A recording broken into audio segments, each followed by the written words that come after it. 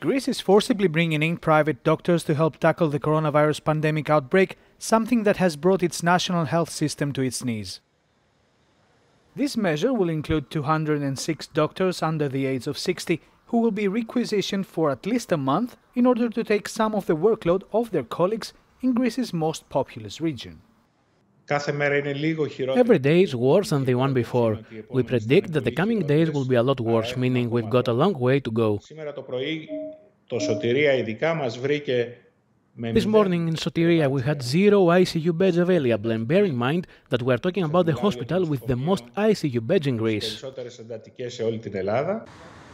It's certainly a difficult equation. Public hospitals' capability on one hand and people's exhaustion due to the restrictive measures that have been imposed on and off for a year on the other.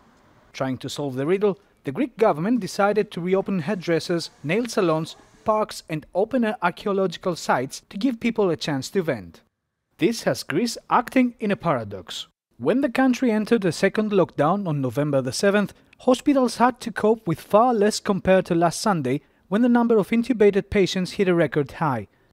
In order to have a clearer picture of the situation, the government announced that each citizen will be able to get tested once a week at home or at a pharmacy. But pharmacists say this was a rushed announcement, with no specific plan in place. Let's say a test comes out positive in my store. What then? The person would have taken off their mask, came close to me, and I would have had to sit in front of them. This place is now infected since he's COVID positive. What should I do with the testing device? Where do I discard it? They announce something without knowing how it's supposed to work. Greece is at a crucial turning point nearly two months before the scheduled start of the tourist season a flawless ongoing vaccination campaign and the further opening of activities keep the country hopeful that it will have entered the path of normalcy until then. Authorities speak of the last mile before the finish line, but it is well known that this is the hardest part, especially in such a long race. Panos Kitsikopoulos in Athens for Euronews.